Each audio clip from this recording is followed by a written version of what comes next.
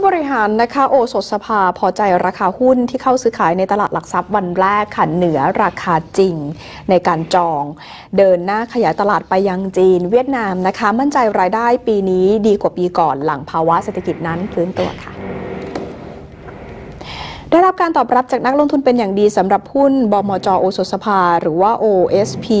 ที่เข้าซื้อขายในตลาดหลักทรัพย์แห่งประเทศไทยเป็นวันแรก เปิดตลาดที่ 30 บาทจากราคา IPO 25 บาท และเคลื่อนไหวเหนือราคาจองได้ตลอดทั้งวัน นายเพชรโอสถานุเคราะห์ประธานคณะกรรมการบริหารบมจโอสถสภาบอกว่า จะนำเงินที่ได้จากการระดมทุนในครั้งนี้ไปพัฒนาศักยภาพการเติบโตของบริษัท เน้นขยายตลาดกลุ่มธุรกิจ ผลิตภัณฑ์ของใช้ส่วนบุคคล หรือว่า personal care มากขึ้น ควบคู่กับการออกผลิตภัณฑ์ใหม่ๆ ให้ตอบโจทย์ความต้องการของลูกค้าจะนำเงินของ นักลงทุนแล้วก็ผู้ถือหุ้นทุกคนนะครับ ไปใช้ให้มีคุณค่ามากที่สุด เพื่อการปรับปรุงนะครับ แล้วก็พัฒนาบริษัท เราทำทีละขั้นทีละตอน ก็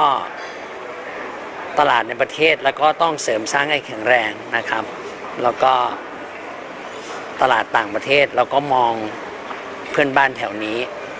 เราก็ทำตลาดแถวนี้แข็งแรงก่อนแล้วก้าวต่อไปกำลังศึกษาตลาดในจีนแล้วก็เวียดนามครับขณะที่นางพรทิดาบุญสานะครับกรรมการบริหารและรองกรรมการผู้จัดการสายการเงิน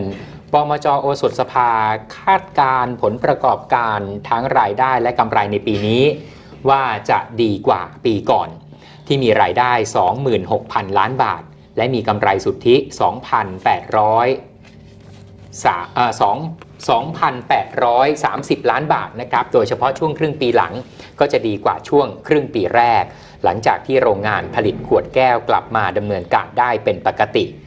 โดยได้มีการปิดปรับปรุงไปในช่วงครึ่งปีแรกทำให้ประสิทธิภาพการผลิตก็จะดีขึ้น อีกทั้งมองว่ากำลังซื้อในประเทศปีนี้นะครับดีขึ้นตามการเติบโตของภาวะเศรษฐกิจ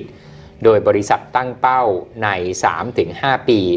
สัดส่วนรายได้จากการส่งออกจะสูงขึ้นเป็น 20-30%จากปัจจุบันอยู่ที่ 16%พร้อมกับศึกษาแผนขยายตลาดไปยังประเทศเพื่อนบ้านมากขึ้น รวมไปถึงเวียดนามแล้วก็จีน คาดว่าจะได้ข้อสรุปปี 2562 จากปัจจุบันบริษัทส่งออกไปแล้วประมาณ 25 ประเทศด้วยกันครับ OSP นะคะเป็นผู้ผลิตและจำหน่ายสินค้าอุปโภคบริโภค โดยมีกลุ่มผลิตภัณฑ์หลัก คือเครื่องดื่มบำรุงกำลัง